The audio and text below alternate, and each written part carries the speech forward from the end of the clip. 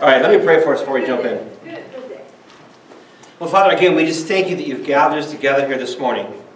What a glorious day and what a wonderful time that we've had worshiping you and seeing how you move in the African nation of Senegal. So we just thank you for your presence here with us this morning. And Lord, now we ask for the Holy Spirit to come and to be with us because we know that as the Holy Spirit is here, there can be no spirit of distraction in the room. And we know that your Holy Spirit is here, there can be no spirit of doubt or confusion in the room. Only the Holy Spirit may speak and move and have his way in this place. And Holy Spirit, we do long and ask for you to come and to move this morning. Amen. Amen. Well, most of you know that from time to time, I like to take a theme or an idea and then build a theology for it. And so that's what I want to do today. I want to build a theology by looking at a lot of different passages of Scripture. That's how we do that. We build theology by looking at the whole context of Scripture and not just a proof text. I hate that when someone tries to make a point and there's only one Scripture that says that. That's not good theology. We build theology by looking at Scripture as a whole and bringing in many passages. And so that's what I want to look at today. And I want to build a theology for the idea of living under the favor of God. Although this is really just an introduction, I can't adequately cover this topic in one message. I've been wanting to give this message on living under the favor of God for a long time, but I, I honestly I didn't know where to start. And so I just I got to start somewhere. I woke up Wednesday morning with this just burning in my mind. I'm like, I got to do this. And so I'm just starting with the basics. This is just an introduction. At some point in time, this will probably be a three or a five part sermon series and maybe a book. Because there's a lot here, but I'm just starting today with the basics, all right? So, why is it important to live under the favor of God? What are the benefits of living under the favor of God? Well, I've got a few here. I'm sure there are many. First, when we live under the favor of God, God protects and breathes life into our finances. I'm going to move that just so I don't tack into it. When we live under the favor of God, God protects and blesses our finances. When we live under the favor of God, our finances are not affected by recessions. Hmm. When we live under the favor of God, our finances are not affected by inflation. Oh, come on now, Pastor, you're stepping on my toes. Right? Think about how worked up we get about things like inflation and recessions. But this is why I wanted to talk about this. When we live under the favor of God, I'm not subject to that. You see, God owns the cattle on a thousand hills, and that never changes. Psalm 50, verse 10. God owns the cattle on a thousand hills. Can you imagine if a recession hits the American economy and suddenly God has fewer cows on the hills?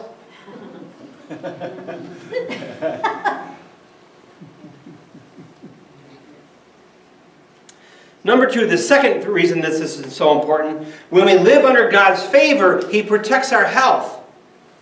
We are not buffeted about by the sicknesses of the season. And if we do get sick, we make dramatic recovery with little loss. I think my stroke would be a perfect example of that. Mm -hmm. Amen. I had a stroke on Thursday and I stood before you all on Sunday. Number three, when we live under the favor of God, He protects our belongings. Our clothes and our shoes don't wear out. Deuteronomy 29, which we're going to look at in just a minute. Here's the first scripture I really want to look at. Steve, put up Psalm 5. Psalm 5, verse 10. Surely, Lord, you bless the righteous. You surround them with your favor as with a shield. Now remember, last week I talked about new covenant thinking. We have to see things through the new covenant, right? Remember that? So we have to look at this through new covenant thinking. You bless the righteous. Because of Christ, I am the righteousness of Christ. This isn't something I have to go work at. I am the righteousness of Christ. Because I am the righteousness of Christ, God blesses me with His favor, which is a shield.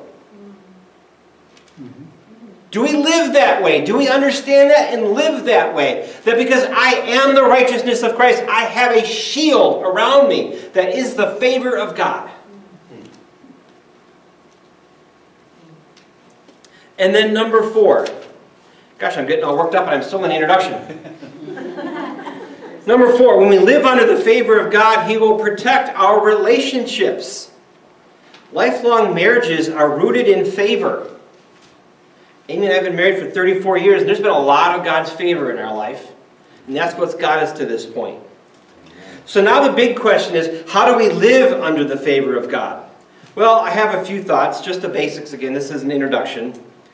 I'm not going to show you anything that you haven't seen before, but I'm going to try to put them together into a, co a cohesive whole that forms a theology and a foundation to live our lives differently.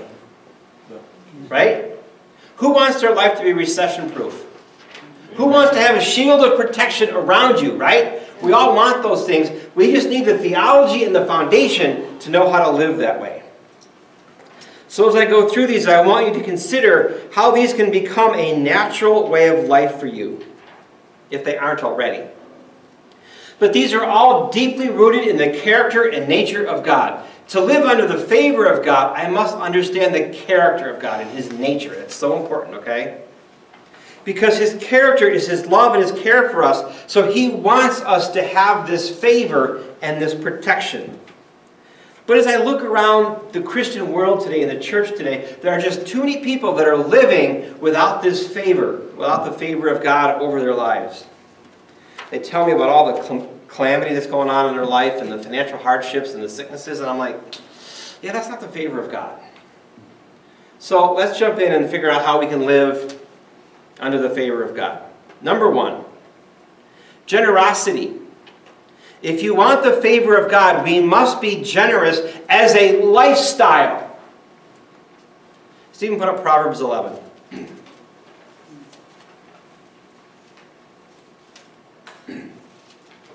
One person gives freely, yet gains even more. Another withholds unduly, but comes to poverty.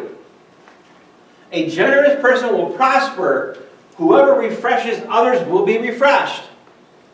People curse the one who hoards grain, but they pray God's blessings on the one who is willing to sell.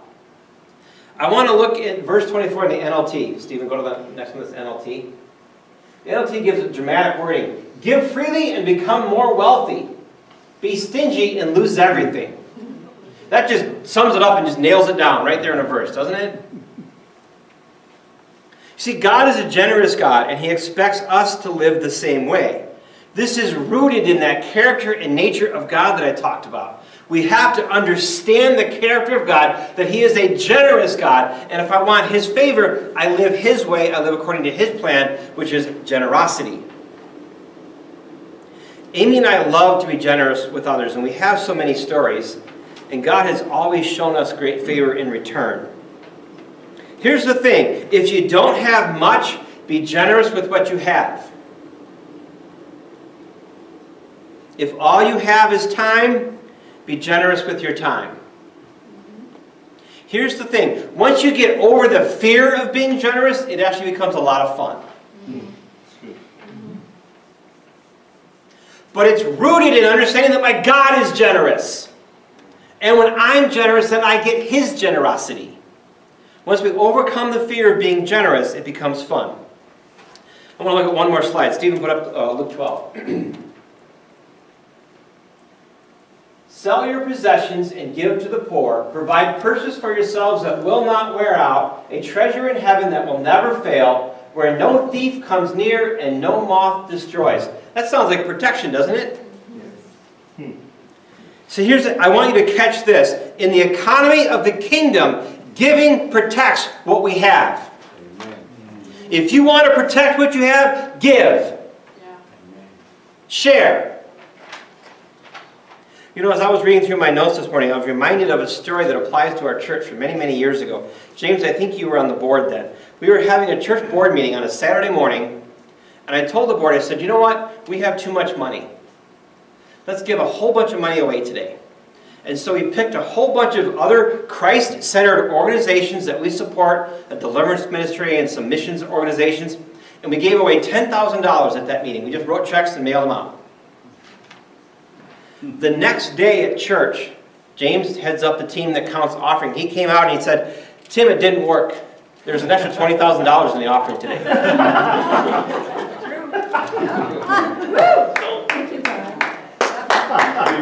Amen. Now, as we look at this verse, I don't want you to think of it as literal. A thief can't steal what I don't have, and what I don't have can't wear out my purse. This is a spiritual principle. Jesus only teaches spiritual principles. He's not saying a thief can't steal what you don't have. He's saying in the economy of the kingdom, giving protects what you have. Yeah. Don't think of this, is that God calling? Sorry, All right. stinking family. It's the family of God, as my kids. I thought I turned that off. It's all good. and now don't think of this as give in order to get. That's not it at all. This is live generously because my God is generous and I want His favor. Yes. I want to have fun partnering with God in generosity. So you might ask, well, who am I to be generous to? Everyone around you. People at the grocery store, whatever. My daughter Carnine was, she works at Aldi now, and she was telling me today that some lady at Aldi paid for the groceries for the person in front of her and paid for the groceries for the person behind her. Oh, wow. Wow. There used to be people in this church, they were regular attenders in this church, that came here because I had paid for the groceries at Aldi. There's a woman sitting in the room who is here because I gave her a 100% tip on my bill. I don't say that to, hey, look at me. No, I'm no. giving you examples of what living generously looks like. Right? All right, the second one is obedience. The favor of the Lord is rooted in obedience. Stephen put up Deuteronomy 6. and the Lord our God commanded us to obey all these decrees and to fear him so he can continue to bless us and per- preser- preserve our lives as he has done to this day. Do a word search in the Old Testament for the word obey and see how many times their prosperity and safety was tied to their obedience. I can't even begin to touch the issue of obedience in the Old Testament. There are so many passages and so many stories that relate to that. Uh, really quickly, I'm not going to put it up, but Proverbs 16:20 says, "Whoever gives heed to instruction prospers."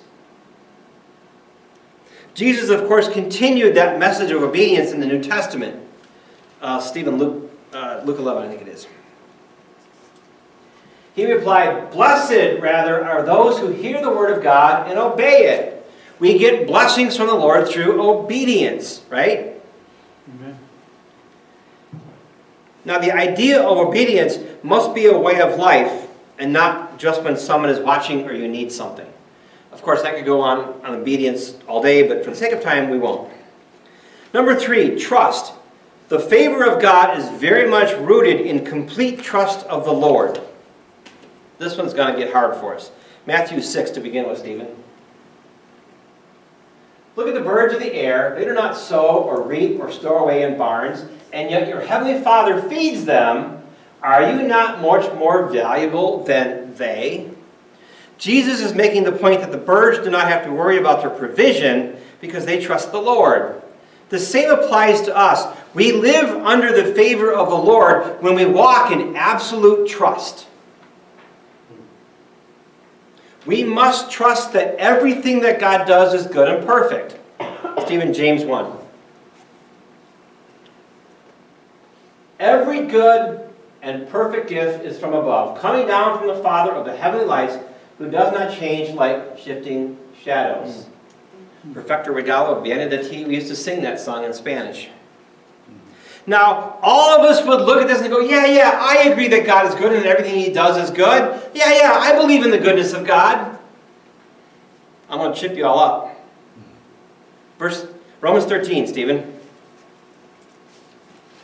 Let everyone be subject to the governing authorities, for there is no authority except that which God has established.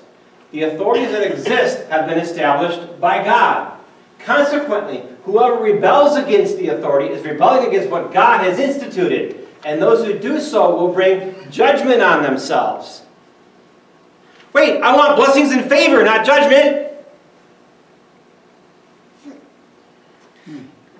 This text says that all governing authorities are from God, which means they're good and perfect, according to James, and that we must be subject to them. Now I hear Christians get really silly and goofy and try to rationalize this away. Oh no, that only applies if the government's following God. It doesn't say that in the text. It doesn't say you must submit when the government is following God. It just says all authority is from God and you must submit. Because it's good and perfect. Do you believe it? I heard a Christian this week make the most disparaging comments about our current president. This says that will bring judgment on you. Do you see that? Do you see how our attitude towards certain things can hinder the favor of God? If I believe that everything is good and perfect, then I have to believe that the authorities and the government He has put over me is good and perfect as well. That's a hard sell sometimes, isn't it?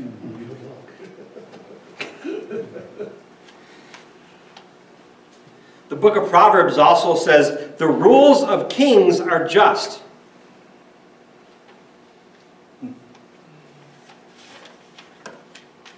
When we start to call into question government, we are calling into question the goodness and the perfectness of the God who put them there.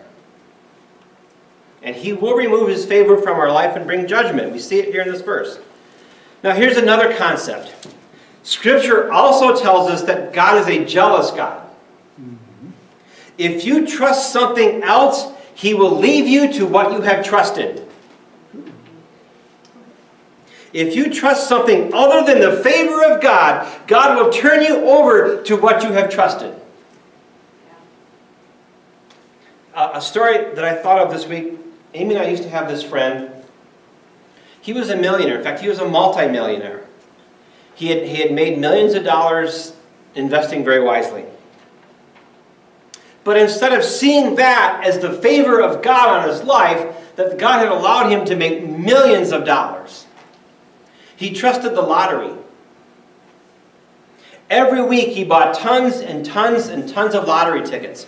He bought so many lottery tickets, he had to pay someone to check them to see if he had won. God had led him to a place where he had made millions of dollars, and he trusted the lottery. You know what happened to that man? He filed for bankruptcy. Twice, I think. God turned him over to what he trusted because he didn't see the fact that he had made millions of dollars was the favor of God on his life and he trusted the lottery. He's now bankrupt and living penniless, penniless, penniless. Wow. Better voice by better? Stroke checking mm-hmm. myself here? All right. Moving on to number four. Bless others. Again, this is how we live under the favor of God. Bless others. Stephen put up Jeremiah 29.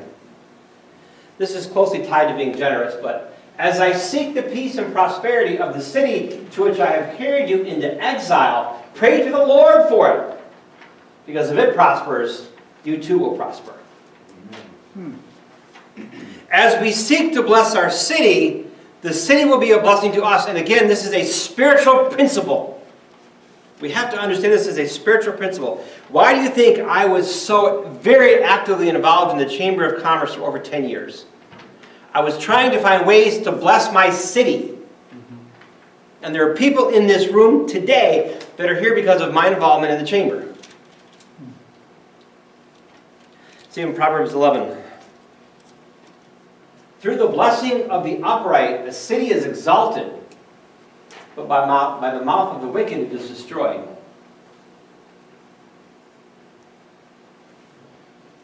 Do you realize we can bless our city into our own prosperity? As I speak blessings over my city, that translates into the favor of God in my life. Do you see that? Number five, a thankful heart.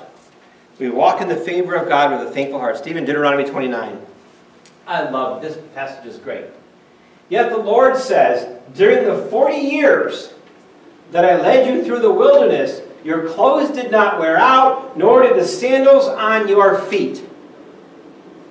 The context here is that God was pointing out how he had taken care of them during the wilderness years and they didn't realize it. God is that good. He can take care of us and we don't even notice and he goes with it. Now he did remove some of the favor, favor for the people of Israel, but during the wilderness years, the people only complained about what they didn't have. God, make us slaves again. I want garlic. God, make us slaves again. I want leeks and onions. And God's like, did you notice your clothes haven't worn out and your shoes haven't worn out and it's been 40 years? Now, my, my wife might accuse me of having some clothes that are 40 years old, but that's different. I just don't like change. but I wonder if this verse is a word for us today. God, have you seen the price of chicken? Have you seen the price of eggs? And God's like, yeah, but are you noticing what I am doing?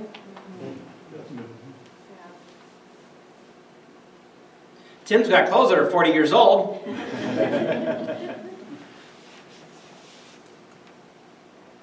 Noticing the little things that God does and having a thankful heart will bring more favor. 100%. Just take that to the bank. Noticing the little things that God does and having a thankful heart will bring more favor. This verse speaks to the sovereignty of God over our circumstances. He can prevent our shoes from wearing out. Can you trust a God like that? Can you trust a God that is so good, even if you don't have garlic in your diet or you can't afford chicken, He still takes care of your clothing and your shoes? See, this goes back to that trust issue I talked about the character and nature of God? Can I trust in the absolute good nature of God to even do things like take care of my shoes? Number six, listen and obey to the Holy Spirit. Stephen put up James 1.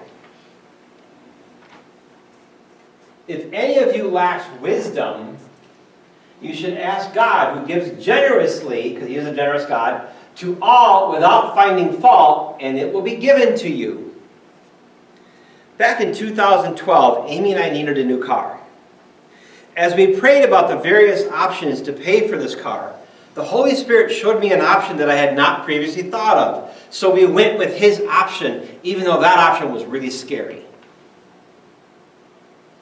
But having gone with that option, that decision is still paying financial dividends to us all these years later. The Spirit of God told us to buy the house that we live in, which was ridiculous. Our real estate agent took us to look at this house. It was way out of our price range and it was already under contract. I'm like, why are we looking at it? And then the Holy Spirit spoke to me clear as day. He spoke to me and then in a dream that night and said, buy that house. I'm like, but it's way out of our price range and it's already sold. So we made an offer. God did some crazy miracles and we got the house, even though it was already con under contract.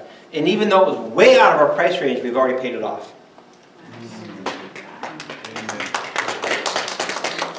And was the church here then?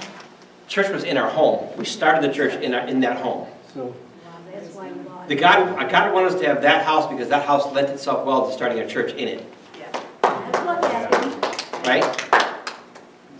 And the fact that we paid it off doesn't have anything to do with how much money we make. If you were at the Emmanuel meeting this year, you saw that I don't make anything. She's retired. So number six was listen and obey the Holy Spirit. Number seven, tithe. It's not possible to live under the favor of God if you're not tithing. Stephen Malachi 3. I, the Lord, do not change. So you, O descendants of Jacob, are not destroyed. That's a great promise right there. Ever since the time of your forefathers, you have turned from my decrees and have not kept them. Return to me, and I will return to you, says the Lord Almighty. He's talking about favor there.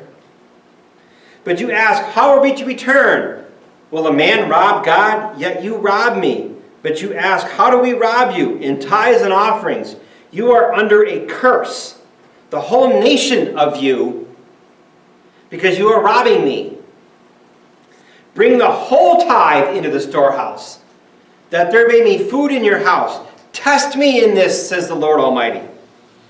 And see if I will not throw open the floodgates of heaven and pour out so much blessing that you will not have room enough for it all. Here's the favor I will prevent pests from devouring your crops, and your vines in their fields will not cast their fruit, says the Lord Almighty. That all the nations will call you blessed, for yours will be a delightful land, says the Lord Almighty. In this one passage, I don't have time to get into it, gosh, we're way over, but in this one passage, God says, I will restore favor, I will protect your crops, I'll give you everything you want. Just bring me the tithe. Because they hadn't been, they had been ripping him off, and they had not been bringing in the tithe. It's an unpopular subject in the American church for some reason. If you don't believe this, or if you've never tried it, just take God at His word, try it, and see what a difference it makes. Amen. Amen. Pastor Jerry's, or Jerry, our guest worship leader today, his pastor of his church did a message where he goes, I am so confident in this. If you start tithing and God doesn't completely change your finances, I'll refund all the money you gave. Not a single person came and asked for the refund.